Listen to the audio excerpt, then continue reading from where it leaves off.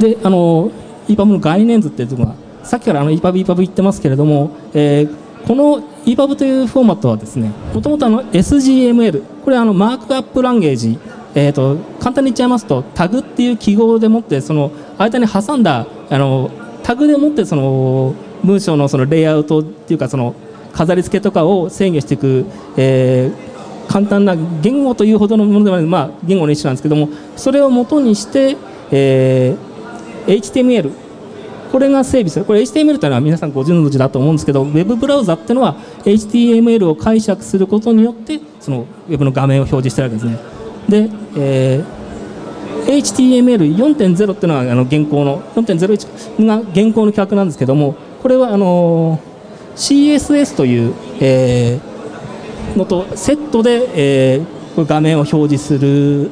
わけですね。CSS というのはその飾り付けとかですねそのレイアウト専門の、え、ファイルでしてこの両者が共同してもあのウェブの画面を表現してるわけですけどでえー、とですね EPUB というのはその HTML をあの拡張したというか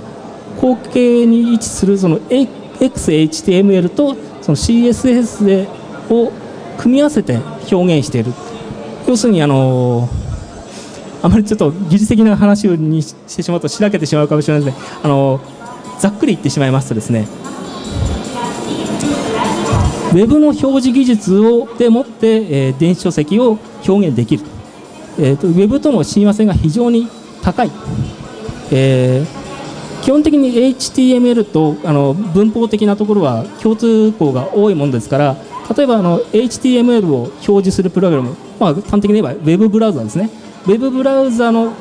でその XHTML との表示するっていうのはそれほど難しいことじゃないんですね。パーシングって言いますとそのタグをですね解釈する翻訳あの変換してあげるプログラムを書けば割と比較的対応しやすい。で CSS っていうのはもうそのものですから、えー、要するにウェブブラウザーでちょっとあの機能を足してあげれば EPUB を表示する機能はできてしまう。でこれが何を意味するかと言いますと、えー、例えばですねあのオンラインで配布するときにも、えー、ウェブブラウザがあれば、えー、EPUB をダウンロードするだけじゃなくて閲覧までできてしまうわけですから特別なプログラムを必要実際には必要なんですけどあまり必要としないというかちょっとプラグインとか追加する程度で表示できてしまう。あので、えーと、ウェブとかのその検索とかにもね対応しやすい、えー、データベース化しやすいとかですね。そのウェブとの親和性の高さというのはまずあります、はい、であと CSS とか HTML これは全部あの国際標準規格ですんで、えー、なんですかね。その特定の企業のその特定の企業のその意思に影響されにくいというのが最大のメリットかと思います。ちょっと駆け足気味なんですけども、えー、で標準化に関与することの重要性っていうのが、えー、もう最後なんですけども、えーまあ、今申し上げた申し上げた通り EPUB の主要構成物はあの AX、HTML と CSS であの EPUB というのは IDPF という団体が、えー、策定しておりましてで CSS というのは一方でその W3C これはあの HTML とかその Web の方の標準化団体ですね。この、えー、2つがあの非常に重要な要素を持ってました。でなぜかと言いますと、えー、EPUB で採用していますその CSS というのは W3C で、えー、いろいろ決めているわけですね。ですから W3C にあの働きかけないことには EPUB にも反映されにくい。あの完全にそうではないんですけども流れとしてはその W3C で CSS のその仕様を固めてあの IDPF 側に持ってくる方が流れとしてはスマート。っていうことで、えー、でなぜ CSS かっていうんですけど縦書きとか Ruby のですねその表示スタイルの面ではあの CSS であの対応することになりますから、まあ、要するに CSS 標準化の方に日本側としてはあの働きかけたい。でなんですけれども、えーとですね、実はこれ今あまりうまくいってません、えー、国際大学の村田さんとあとアンテナハウスの村上さんっていうお二方が特にですね中心になりましてあの EPUB の日本語組版拡張を目指してっていうのをもう提案してるんですよね。であの村上さんがあの CW3C に働きかけてで、えー、村田さんが IDPF の今、えー、リーダーになってるんですね、えー、国際対応、えー、ここに書いてますね。EPUB 次 EPUB の次の企画の世界言語対応のリーダーをなさっててこの間取材に行ってきたんですけれども、えー、ちょっとあの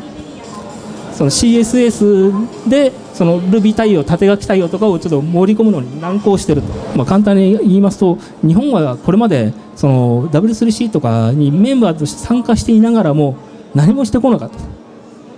あまりその発言してこなかった。でこれまで日本人のメンバーとかもいたんですけど名誉職に近いような形であのただ座ってるに等しかった。でその村田さんという方はあの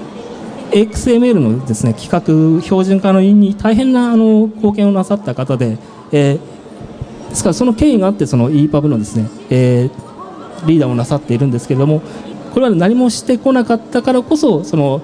縦書きとか Ruby ををその仕様として盛り込むのが随分遅れてしまったと。